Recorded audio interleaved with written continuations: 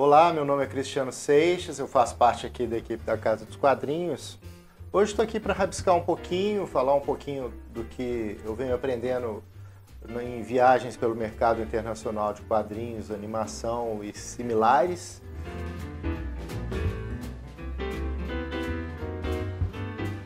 E esboçar um pouquinho, porque eu sempre ando com um caderno de esboço onde quer que eu vá. E tem hora que você acha que está carregando ele à toa e você vai ver que ele é fundamental. Claro, quem tiver uma tablet ou celular que você desenha no celular, eu, eu também acho legal, mas eu acho que é bem diferente quando você tem um, um, um lápis e papel mesmo. Me atrai bastante, sabe? Acho que é bem diferente quando você tem a tela, mesmo hoje em dia que você tem aquela tela com textura, que já é bem melhor que o tipo de material de desenhar na tela antigamente. ainda gosto muito de ter sempre um caderno de esboço e lápis comigo. Também gosto de usar lapiseira, isso aí depende, algumas canetas. E eu vou falar um pouquinho por que, eu uso casa uma, o que, que eu gosto de esboçar, o que, que eu esboço. O que acontece é que atualmente eu, eu faço muito desenvolvimento de personagem criação de roteiro. Então aquele desenho com muita técnica e muito acabamento, que requer um tempo maior de desenvolvimento, é, não é tanto meu foco atual como profissional. Eu gosto de fazer algum desenho de observação ou criar algum personagem. E aí o caderno de esboço, é claro, o companheiro dessas horas. Mas para o meu dia a dia, é, ele é muito mais que isso, porque às vezes eu posso estar só desenhando alguma coisa, às vezes eu posso estar com algum projeto, alguma ideia, e antes de eu sentar escrevendo alguma coisa, digitando alguma coisa no celular ou sentado no computador já querendo montar um projeto, a primeira coisa que eu faço é esboçar o projeto. Então, é, se é um, um, projeto que a gente tem que criar um universo, um personagem, a primeira coisa, às vezes eu posso começar pelo personagem principal, né? Lá, que é João, aí é outro personagem, Maria. E aí eu vou começar a pensar o que, que vai ser desenvolvido acima de cada um desses personagens, vou escrever ideias em, em cima de cada um deles, é, que pode ser uma característica de cada um. Quem já jogou jogo de RPG ou similar, a famosa ficha de personagem. Em game também, muitas vezes você tem que saber o que, que é o perfil de cada personagem para você poder jogar. Então, essa, essa é uma coisa que eu uso muito no caderno de esboço, sabe? Para primeira coisa que vier na minha mente desses personagens, eu já vou escrever um pouco sobre cada um. Às vezes eu anoto do lado perguntas que vêm na minha cabeça eu não sei responder na, na hora sobre o personagem. Aí eu decido que o personagem vai morar em um país específico é, no norte da África. E o outro personagem vai morar é, no oeste da América Latina ou em algum lugar do Chile, por exemplo. Eu não sei nada de nenhum desses locais. Então eu anoto alguns pontos que eu acho de interesse, eu vou fazer uma pesquisa depois. Então eu saio rabiscando gráficos, ideias e, e, e apontando direções diferentes.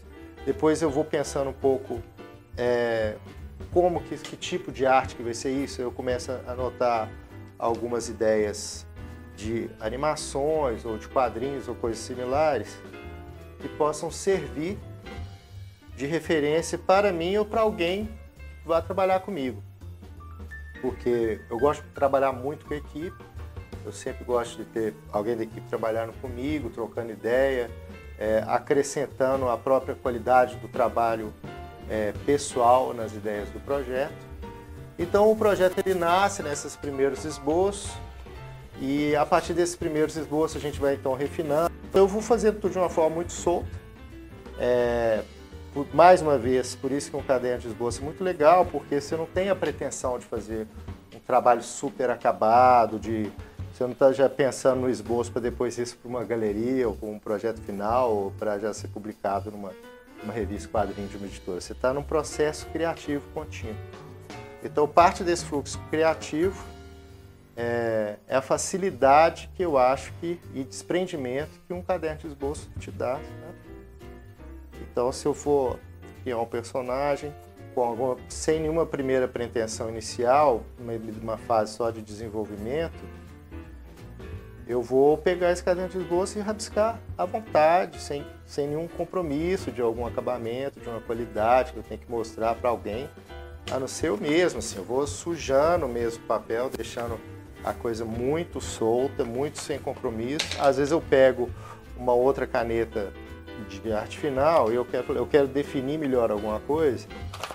E às vezes, mesmo sendo um desenho mais solto, eu pego esse material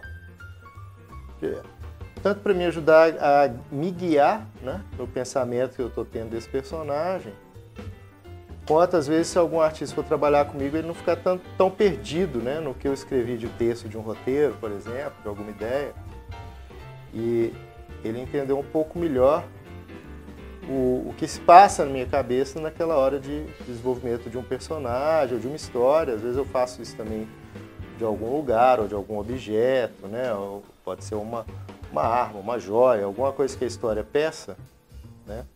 Então, às vezes, eu, eu faço uma certa, um acabamento um pouquinho mais técnico é, para ajudar essa comunicação. Às vezes é uma comunicação até para mim mesmo, né? Mas é, como, além da Casa dos Quadrinhos, também trabalho no estúdio, muitas vezes a gente nem sabe o tipo de projeto que vem na nossa mão, o que, que a gente vai precisar criar e desenvolver. E o caderno de esboço, alguns lápis e algumas primeiras canetas é, é, a primeira, é a minha primeira arma de trabalho. Né?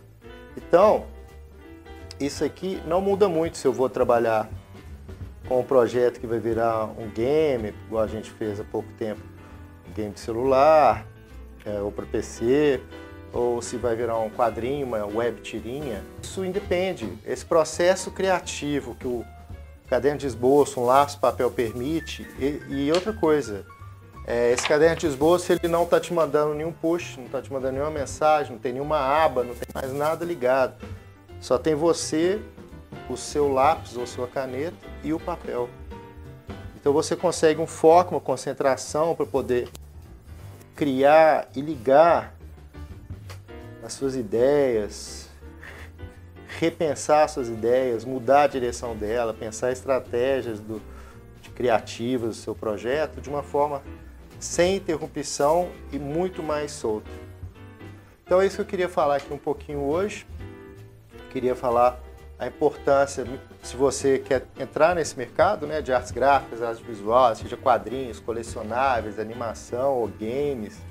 É, no meu caso mesmo, é, eu desenhando alguma coisa mais solta ainda hoje em dia, mesmo eu estando mais no texto, mais no desenvolvimento dos projetos criativos, é, o caderno de esboço, o lápis e, e, e, algumas canetas sempre estão na minha mochila, sempre levo para todo lado, porque é aquela hora que você vai parar e tá solto para criar, tá solto para criar suas ideias e amarrar ela melhor, da melhor forma possível sem ter que estar sentado no computador, sem ter que estar sentado numa tablet e se distraindo às vezes com outros programas e outros aplicativos. Então, sou um grande defensor de estar aqui mostrando essas ideias de caderno de esboço, criar estratégia de caderno de esboço e criando os personagens você quiser nesse caderno. Quanto mais caderno de esboço, quanto mais você usar, melhor para a sua carreira como criativo.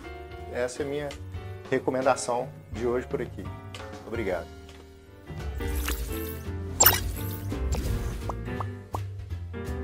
Tem aí qualquer tipo, marca, eu sei que vai.